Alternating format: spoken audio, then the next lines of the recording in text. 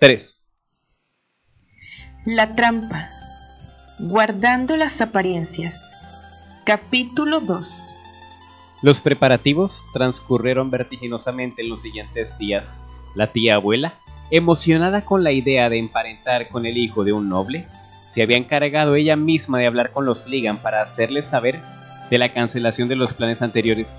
Como era de esperarse, Neil reaccionó de la peor manera posible, pero Elisa siempre más inteligente y rápida para adaptarse a nuevas situaciones, había logrado contener la furia y los celos de su hermano. La tía abuela, pues dejó a los Ligan en Litwood, sin pensar mucho más en el asunto, ya que los planes para la fiesta de compromiso y la boda habían logrado que cualquier otra consideración acerca de su despechado sobrino y su muy ofendida familia pasara a segundo término.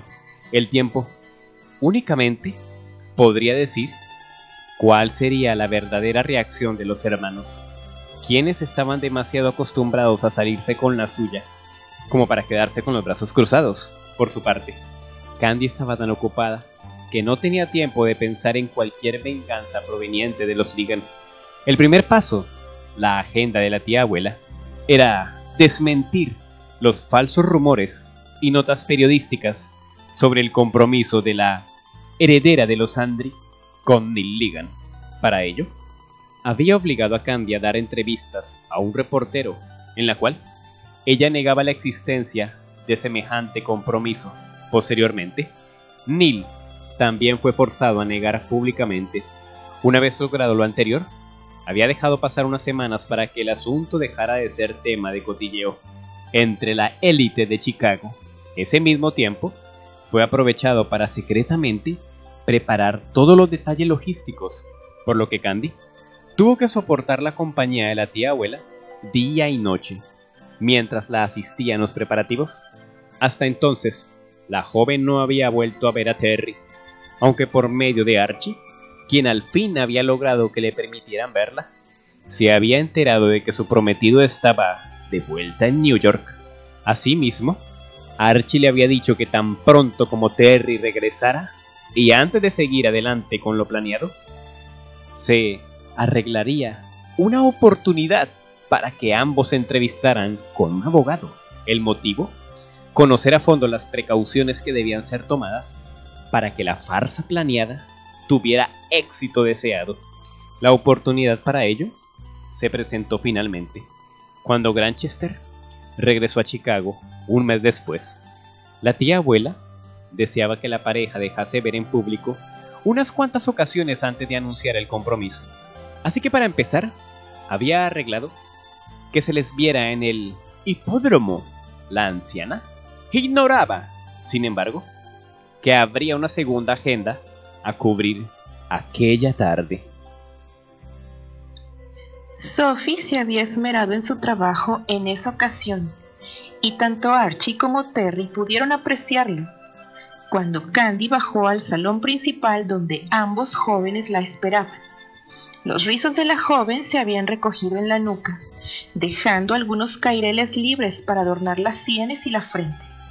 El peinado nuevo y las líneas elegantes de aquel vestido color de rosa que se ajustaban a un talle inauditamente pequeño no podían dejar alguna duda de que, donde antes había una muchachilla larguirucha inquieta, había ahora una mujer. A pesar de que estaba consciente de su situación, Terry no pudo evitar sentir algo así como orgullo cuando su prometida aceptó el brazo que le ofrecía saludándole con una sonrisa tímida debajo de su sombrero de ala ancha. Archie, quien fungía de chaperón en esa ocasión, le siguió en silencio, maldiciendo internamente a Neil por milésima vez. De no haber sido por su primo, él no tendría que haberse visto involucrado en una posición tan poco deseable. Los tiempos en que sentía celos de Terry habían ya pasado pero en el fondo había todavía algo de recelo hacia su antiguo condiscípulo. Granchester había empeñado su palabra de honor de que nunca reclamaría derecho alguno al ser esposo legal de Candy, pero la manera en que había mirado a la joven cuando ella descendía las escaleras solo había logrado hacer acrecentar las dudas de Archie. La idea de meter a Terry en el asunto había sido toda de Albert, pero con el joven Cornwell no conocía a nadie más en quien pudiera confiársele una tarea semejante, había tenido que terminar aceptando la idea de Albert y ahora se veía obligado a hacerla de chaperón. Aquello sí que era el colmo. Ajenos a la incomodidad de Archie, la pareja se dejó ver en el hipódromo ante los ojos pasmados del jet set de Chicago. Candy hablaba muy poco, incapaz de coordinar sus pensamientos ante la proximidad de Terry, y el joven se limitaba a hacer uno que otro comentario intrascendente, mientras se preguntaba la razón del mutismo de la muchacha. Durante uno de los intermedios entre las carreras más importantes de la tarde, los tres amigos se escabulleron del lugar, tomando otro auto y dirigiéndose a una parte de la ciudad que Candy no conocía. El edificio al que entraron era nuevo y tuvieron que pasar por varias oficinas vacías hasta dar con el despacho de la persona que iban buscando. Mucho gusto, señorita Andri, se dirigió a ella el abogado Nervin cuando se hubieron hecho las presentaciones. Puede usted estar tranquila, lo sabré guardar total discreción en su asunto. Albert es un buen amigo mío y le aseguro que no le defraudaré en algo tan importante para él. Muchas gracias, señor Nerville, contestó Candy, tratando de sonreír casualmente, y el abogado le sorprendió en que ella tuviese un aire tan dulce a pesar de ser tan rica. Viéndola usted, puedo entender el deseo de Albert y del señor Corwell de protegerla. Tengo una hija de su edad y lo último que me gustaría es que se viera obligada a casarse con un hombre que no ama. Continuó el hombre sirviendo él mismo el té para sus visitantes. Consciente de la necesidad de hermetismo en el asunto, se había asegurado de que no hubiese nadie en las oficinas para la entrevista una vez que todos estuvieron acomodados, el hombre empezó sus explicaciones. El asunto es simple, en su esencia. Usted y el señor Granchester deberán casarse legalmente y por la iglesia. ¿Por la iglesia? preguntó Candy escandalizada. Pensé que solamente era necesario un matrimonio civil para fines que perseguimos. El matrimonio legal es el que realmente nos interesa, pues permitirá que usted alcance la independencia de la patria potestad de su padre.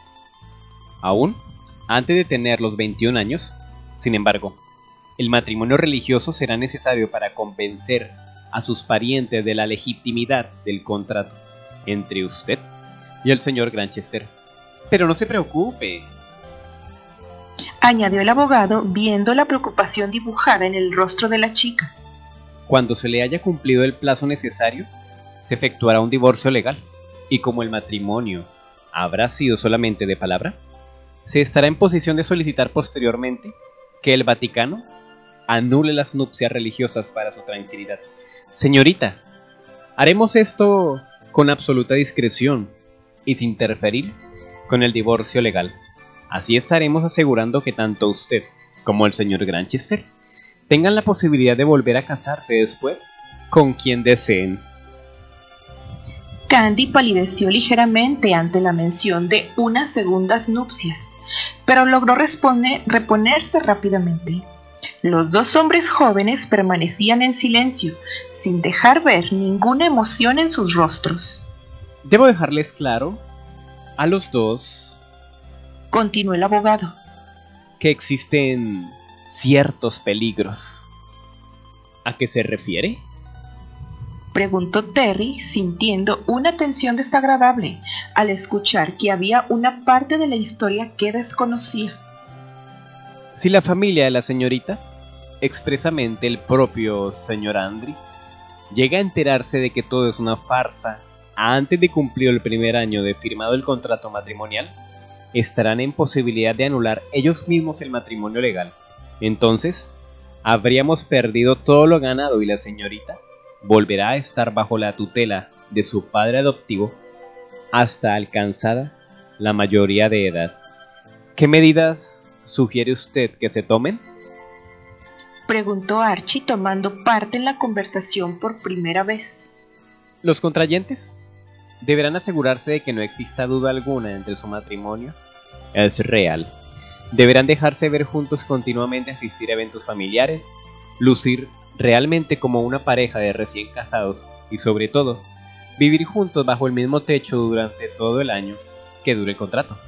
Si se llega a sospechar de las partes no viven juntas, se puede dar ocasión a una demanda automática de divorcio o lo que es peor, de anulación antes del primer año.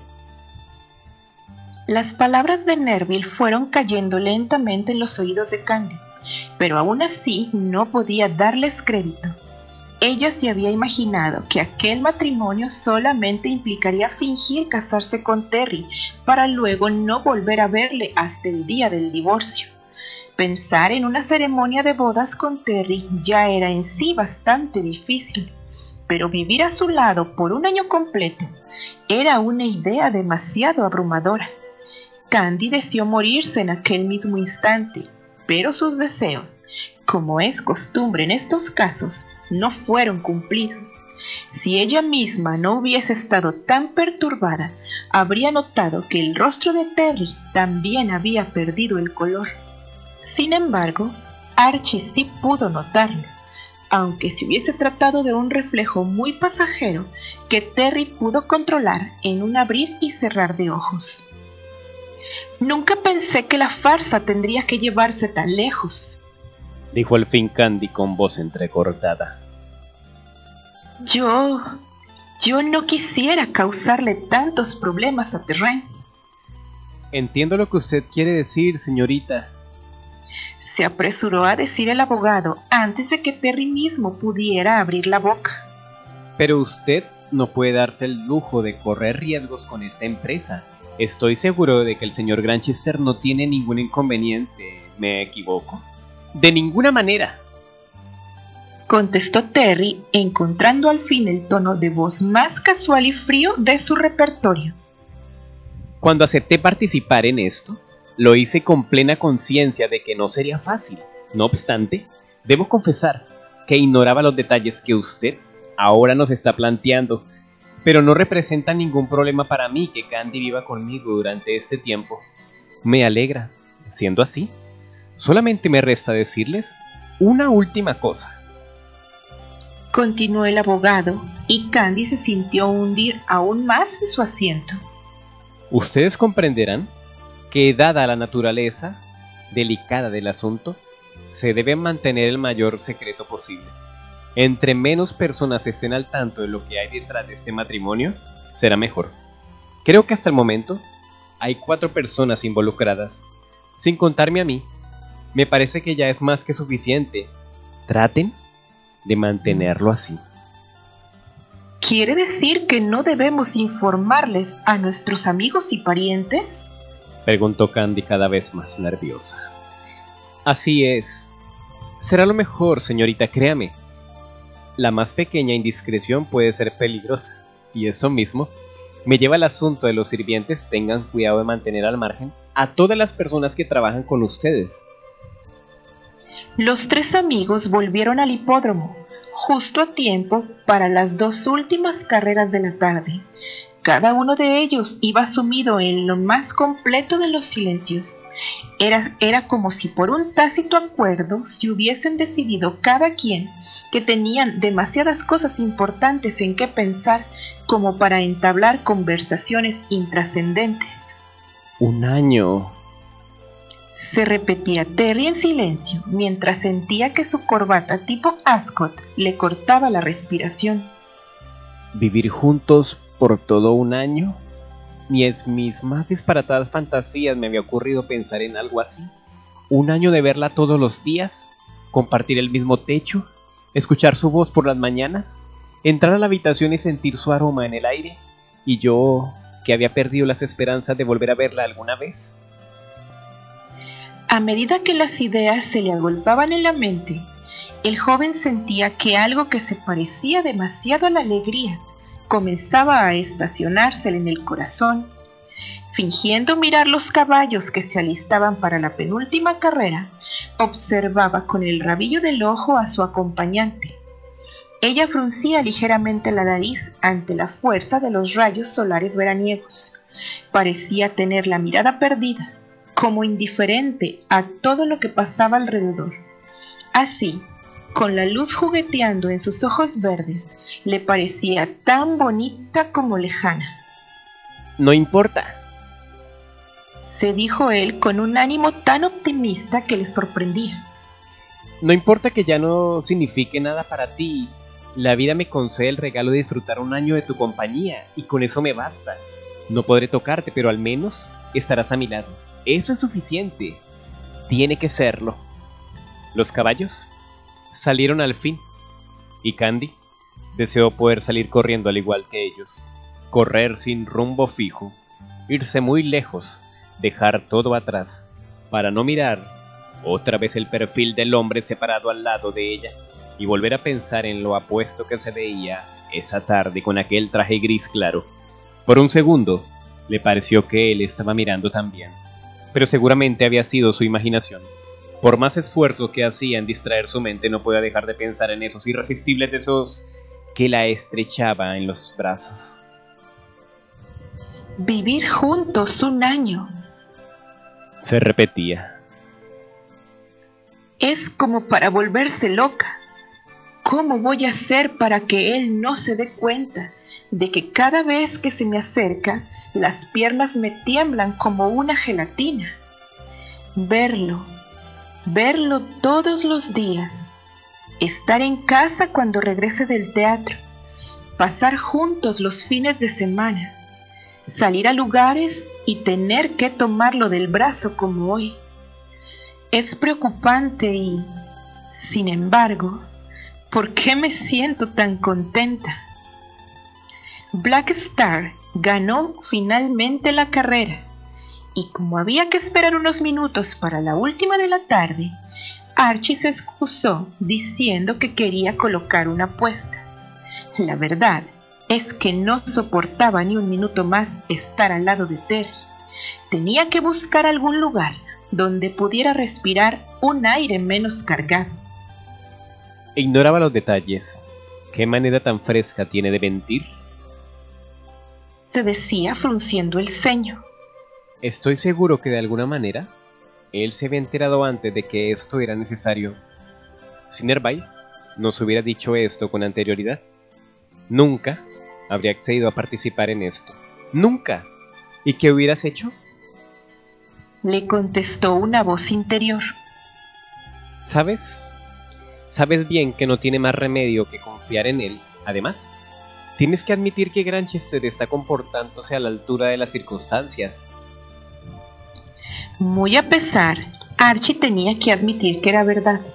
No parecía haber otra salida. Sin embargo, no podía conciliarse con la idea de que Candy tendría que cohabitar con él.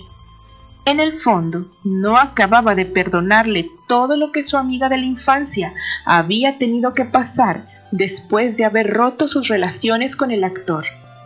Mientras Archie se tragaba su disgusto en la fila de las apuestas, Terry se devanaba el seso buscando un tema de conversación. Si Candy y él iban a estar juntos por tanto tiempo, había que encontrar la manera de romper ese mutismo tan inusual en la joven. No sabía que Archie se interesara en las apuestas. Comentó al fin casualmente. Ni yo tampoco. Contestó ella sin despegar los ojos de un punto imaginario. Espero que tenga mejor suerte que tú. La última vez que te vi apostar, no saliste muy bien librada. Añadió él alzando una ceja. Eso fue un empate. Saltó ella recordando el incidente que él estaba mencionando. Tú mismo lo dijiste. Es curioso. Pensé que un actor debía tener buena memoria. Por lo visto me equivoco. Comentó ella, aventurando una sonrisita vengativa, incapaz de dejar pasar la provocación. De ninguna manera. Repuso él fingiendo seriedad. Confundes mi gesto de caballerosidad con incapacidad para recordar los detalles. Mentí cuando te dije que me había parecido un empate. ¿En verdad? Pues no debiste hacerlo. No necesito de ese tipo de gestos. Yo estaba totalmente dispuesta a aceptar las consecuencias de la apuesta. Bueno. Sonrió él finalmente, disfrutando el espíritu combativo de la muchacha. En ese caso, aún estás a tiempo de remediar el asunto. Lo siento, es muy tarde para hacer reclamaciones. Pero si quieres, podemos aventurar una nueva apuesta ahora mismo. Le retó ella, atreviéndose a mirarle de frente. Pero, ¿por qué dije eso? Candy, eres una estúpida. Pensó la joven. Mm, no, no ahora. Repuso el hombre con una mueca burlona. Pero ten por seguro que en otra ocasión te tomaré la palabra.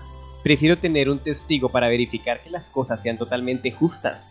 Debe ser alguien en quien ambos podamos confiar. La próxima vez que veamos a Albert, tal vez. La última frase de Terry le hizo recordar a Candy que había ciertas preguntas acerca de su mutuo amigo que le estaban haciendo ruido en alguna esquina de su mente. Por cierto, ahora que lo mencionas, dijo ella aprovechando la oportunidad. Todavía no deja de sorprenderme la participación de Albert en todo esto. Un buen día dejó el departamento en donde vivíamos y no supe más de él. Es increíble cómo se desaparece para luego reaparecer, siempre en el momento en que lo necesito. Sí, es muy curioso contestó él diciendo que también para él Albert se había convertido en una especie de ángel guardián, haciendo acto de presencia cada vez que se requería del consejo de un amigo, aunque la idea de aquel hombre de rostro curtido por el sol y con puños de hierro no coincidían con los ángeles de una pintura renacentista precisamente. Confieso que no deja de darme curiosidad de saber algo más de él continuó hablando el joven. Pero le respeto tanto que no me atrevería a preguntarle algo sobre su pasado. ¿Sabes al menos dónde está ahora? indagó ella, con un dejo de ansiedad que por una razón desconocida empezaba a molestarle a Terry. Me gustaría mucho volver a verle.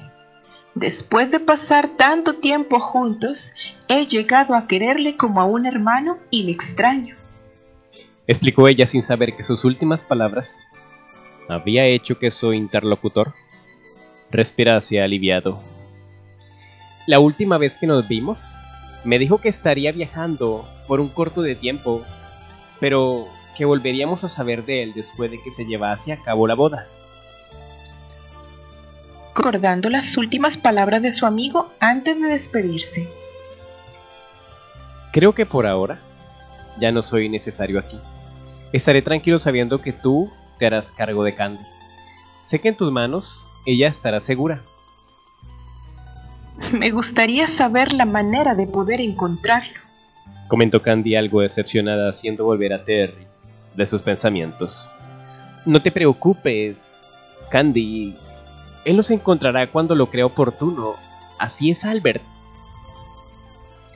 Aquella noche, Candy miraba desde su ventana al cielo despejado y cuajado de estrellas. Repasaba mentalmente los eventos del día y trataba de imaginarse el efecto que tendría en todos sus conocidos las noticias que seguramente se publicarían en los periódicos del día siguiente. Su aparición en público con Terry no había pasado desapercibida por la prensa, así que ya no había manera de arrepentirse. Pensaba en Susana y lo que ella pensaría al ver las fotografías y leer los rumores de las revistas. En verdad, ¿ya no le importaría saber que Terry iba a casarse con otra? Y precisamente con ella. Candy se sentía aún terriblemente impactada con la idea de que la joven actriz hubiese decidido romper todo lazo con Terry. El amor de Susana por él le había parecido algo incapaz de extinguirse, pero sin duda había estado equivocada. Lo que Candy sentía por Terry, en cambio, parecía mucho más obstinado y al mismo tiempo tan dolorosamente fuera de tiempo. En los días que siguieron los eventos, se fueron dando precipitadamente. Se vio a la pareja en varios lugares de moda, y pronto los rumores estaban ya en boca de todos. Las cosas estaban listas para el gran momento. Pronto, los miembros más importantes de la sociedad de Chicago recibieron una cordial invitación a una gran gala que se realizaría en la mansión de los Andri el día 7 de mayo, con la ocasión del cumpleaños de la señorita Candice White Andri. Los Ligan no fueron la excepción. Elisa Ligan se abrió paso en el gran salón de la residencia Andri. Los rizos rojizos de la joven caían en cascada sobre sus espaldas, adornados con una tiara de rubíes que ella portaba con orgullo. Candy la había vencido por esta vez, pero era preciso no aparentar derrota alguna. Así pues, se había vestido con el especial esmero aquella ocasión. A su lado, su hermano mayor caminaba disciplente. ¿Te parece que mi vestido es lo, lo suficientemente elegante para la ocasión? Preguntó Elisa, en voz baja por milésima vez aquella noche. Neil miró el nuevo traje de, raso brocado que se le ceñía al traje, al talle de su hermana para luego dibujar apenas las caderas en una suave línea. Ah, el encaje negro del escote estaba delicadamente bordado con canutillo y lentejuela, y los guantes largos de seda hacían juego con el resto del atuendo. Ya te lo he dicho antes, te ves bien. No sé cuál es tu obsesión por tu apariencia. ¿Acaso crees que ese actor, bueno para nada, se va a fijar en ti? No seas ridícula. se burló Neil ácidamente. No se trata de eso. Replicó enseguida Elisa, indignada. Debemos de lucir radiantes esta noche. Primeramente, porque no debemos dar a pensar a la gente que nuestra familia está agraviada por el compromiso que se va a anunciar esta noche. Y en segundo lugar, porque aparentando indiferencia, estaremos en mejores condiciones para preparar nuestra revancha. Si tú lo dices. Aceptó Neil con desánimo. Yo, a la verdad, hubiese preferido no venir. No creo soportar verlos juntos. Pues tendrás que hacerlo y tragarte tu orgullo por ahora. Le reconvino la joven teniendo cuidado de no alzar la voz, pero lanzando a su hermano una mirada inconfundible. Pero no te preocupes, ya llegará el momento. Mientras los ligas continuaban su conversación, la tía abuela se encargaba de ejercer su papel de anfitriona, haciendo gala de su larga experiencia de años y años mandando a la familia Andri. Todo estaba saliendo tal cual y como ella lo había planeado. Cada candelabro, cada copa de cristal cortado, cada chara de plata, cada uniforme de empleados, todo debía ser perfecto aquella noche. Aquella sería la grandiosa ocasión en que anunciaría al mundo que la familia Andri estaba a punto de emparetar con la nobleza. Poco se importaba para la dama que Candy no fuese realmente una Andri. Semejante consideración que en otro tiempo le había parecido tan insoslayable que se había convertido en insignificante esta sería la gran noche de Emilia Alroy y nada la iba a empañar. Levantó la mirada de la impresionante mesa del buffet para volver a mirar a su sobrina adoptiva. Candy estaba conversando casualmente con Annie Britter, lo cual le ofrecía la oportunidad de comparar a ambas muchachas. Si no hubiese conocido también la historia de Candy y Annie, y por el contrario, se las hubiesen presentado esa misma noche, le habría sido imposible adivinar que aquellas dos muchachas habían tenido un origen oscuro y humilde. Había que reconocer que la señora Britter había hecho un excelente trabajo con su hija adoptiva. La joven se había convertido en toda una dama que respiraba elegancia en cada movimiento.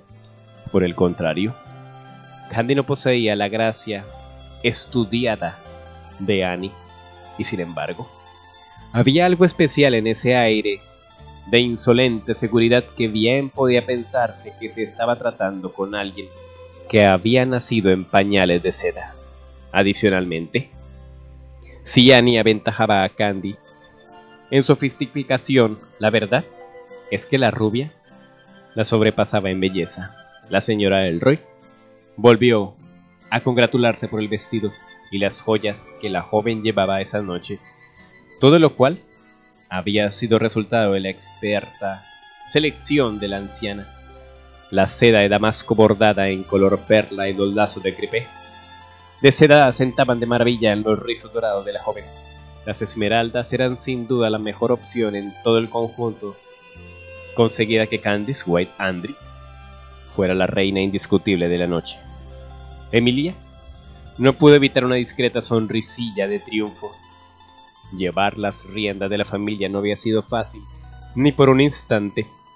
Muchas veces, sus puntos de vista habían chocado con las opiniones testarudas y excéntricas de William.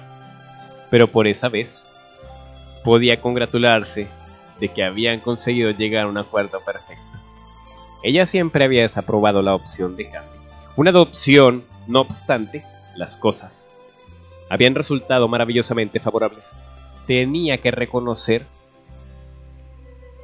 que a la postre la idea de William había conseguido asegurar a la familia una ascensión en la escala social. ¿Quién lo hubiese dicho? Mientras la tía abuela continuaba congratulándose secretamente, un murmullo recorrió el salón, haciendo volver a la anciana a sus cavilaciones. En ese mismo instante, Terrence Granchester cruzaba el umbral del recinto, con la sedosa melena castaña acomodada pulcramente en una coleta, el frac negro impecable, el paso seguro y la mirada distante. El joven se fue abriendo paso hasta llegar al lado de Emilia Elroy, para saludarla con mayor de las cortesías, cuando él quería. Podía ser tan arrolladoramente encantador que inclusive la dura señora era incapaz de resistirse a la tácida seducción de sus modales. Una vez cubiertas las formalidades, la señora Elroy llamó a Candy, y ésta, sintiendo sobre sí las miradas de toda la concurrencia, se dirigió hacia donde estaba la anciana y el joven. Señores y señoras, dijo la señora Elroy, dirigiéndose a todos los presentes, rebosante de orgullo ante el anuncio que estaba a punto de dar. Les agradecemos inmensamente su asistencia. Como todos ustedes saben, nos reúne el motivo de festejar el cumpleaños número 18 de mi sobrina Candice, hija del señor William Andry, quien por asuntos de negocio se encuentra ahora fuera del país. Pero esa no es la única razón para que esta reunión. El señor Terence Granchester, conocido artista e hijo de Lord Richard Granchester, nos ha hecho el gran honor de solicitar la mano de mi sobrina.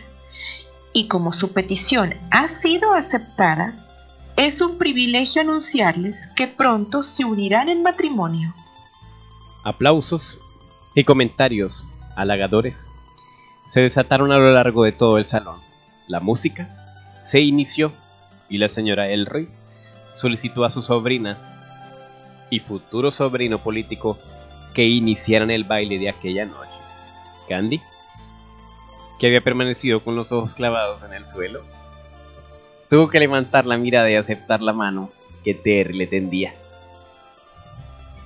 ¿Sabes que a ratos te odio, Terry?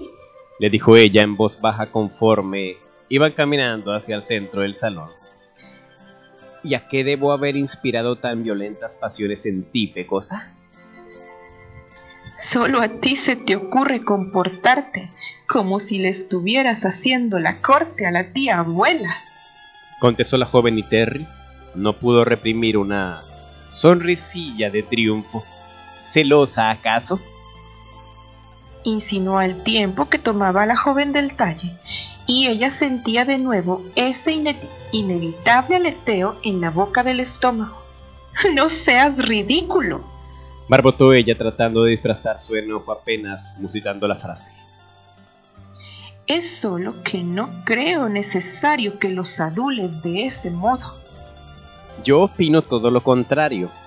Estás trabajando con un profesional, señorita Andri, y pienso desempeñar mi papel de enamorado hasta sus últimas consecuencias, y eso incluye ganarme la confianza de tu encantadora tía repuso él mientras ambos comenzaban a moverse al compás de la música.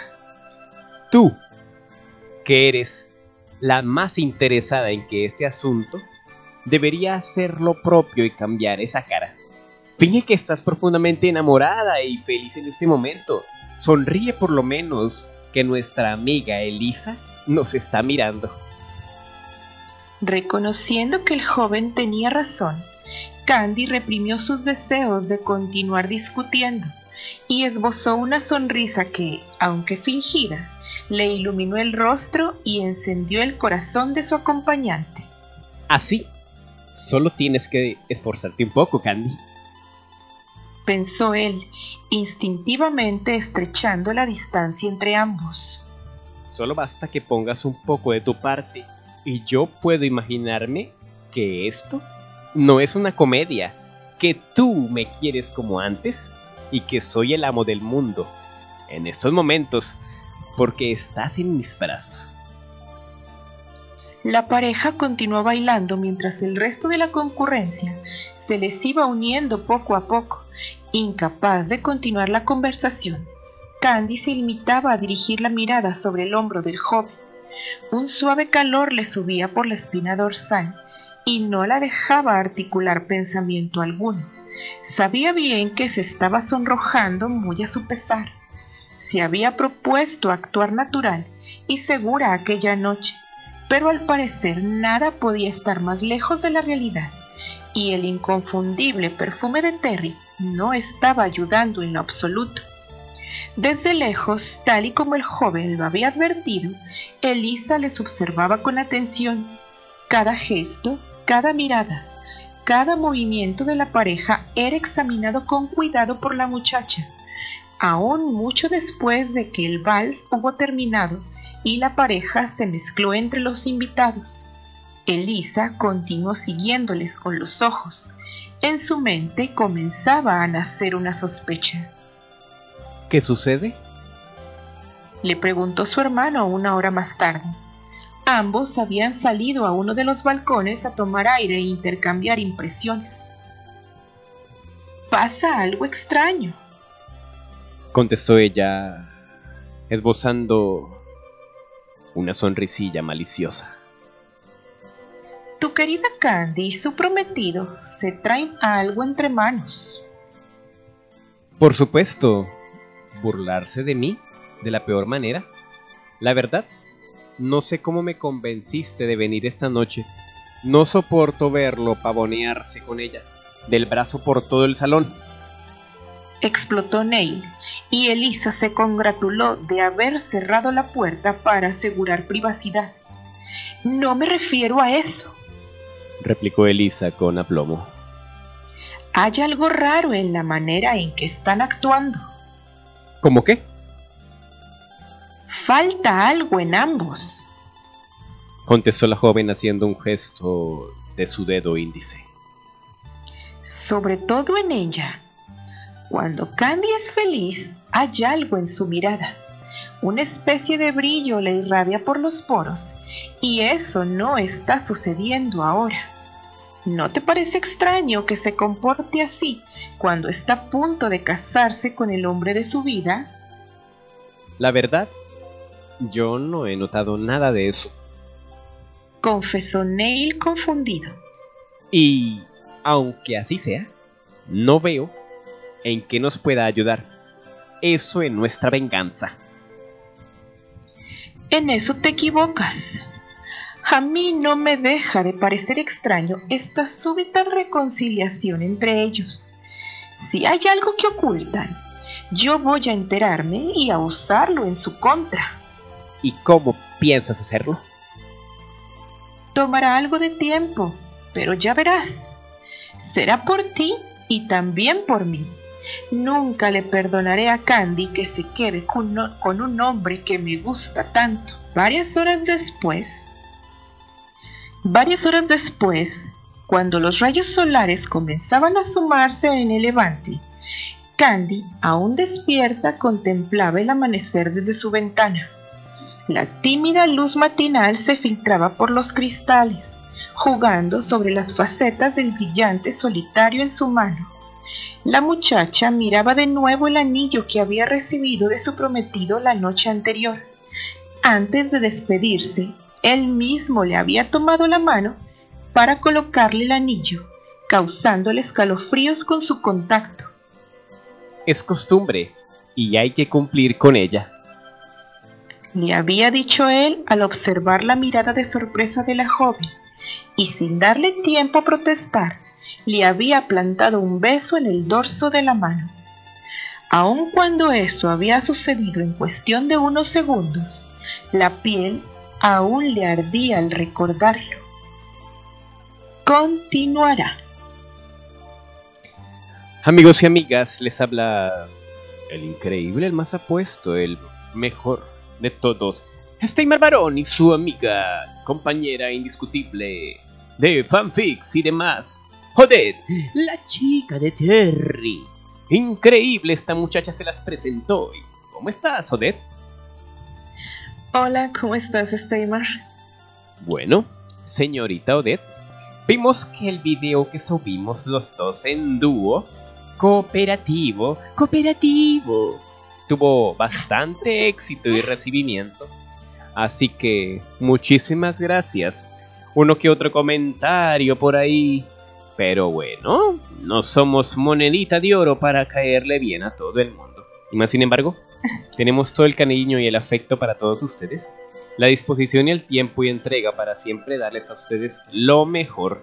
Y quiero que por favor, les pido de todo corazón, sabiendo ya que este contenido es gratis y está pensado para todos ustedes, no tienen que dar ningún centavo, pueden venir aquí gratis, no es como pagar DirecTV se pueden ir al canal de mi compañera Joder, la chica de Terry. sí. Apóyenla, por favor. Una suscripción es gratis y un like es gratis. Eso nos motiva a seguir. Y ahora tú, Joder, señorita, despídete de nuestros maravillosos amigos. Bueno chicos, pues aquí quedó el segundo capítulo de este maravilloso fanfic de la trampa. Muchas gracias y como dice Steimer, allá los espero en mi canal, ojalá se den una vuelta por ahí y pues aquí nos vemos en los comentarios, así es que espero que les haya gustado y pues nos vemos en el número 3, en la trampa número 3. Bye bye. Amigos y amigas, aquí delante de Odette se los digo, ustedes son personas maravillosas, tienen el derecho, así como cualquier animal, criatura y ser viviente, de existir en este mundo, en este planeta, ustedes tienen el derecho y el deber de ser felices. La felicidad es una decisión. Y ustedes son guapos, solamente se miran en el espejo y encuentran lo mejor. ¿Por qué? Para gustos colores. ¿Qué tal si todos fuéramos iguales? ¡Qué fastidio! Pero no.